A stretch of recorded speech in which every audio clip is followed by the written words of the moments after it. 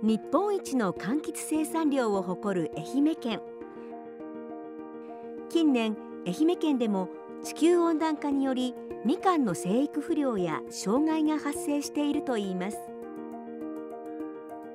温暖化や異常気象に対応した技術開発が求められています。夏の高温少雨によって日焼け化が多発したり果実が成熟する秋から冬にかけての温暖化によって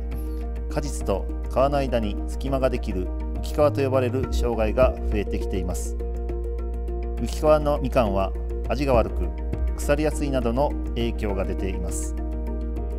美味しいみかんを作り続けていくためには温暖化や異常気象に対応した技術開発が求められています。ここ愛媛県果樹研究センターみかん研究所は温州みかんをはじめとした柑橘類の育種や新しい栽培技術の研究を行っています。現在どのような対策をとっているのでしょう？浮き皮を減らす技術開発に取り組んでいます。これまでは浮き皮になりやすい外側から内側にかけて順に収穫する方法で対応してきましたが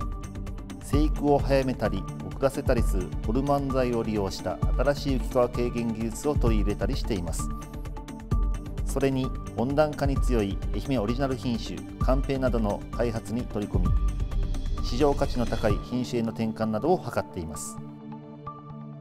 地球温暖化対策を進めていくことが求められています。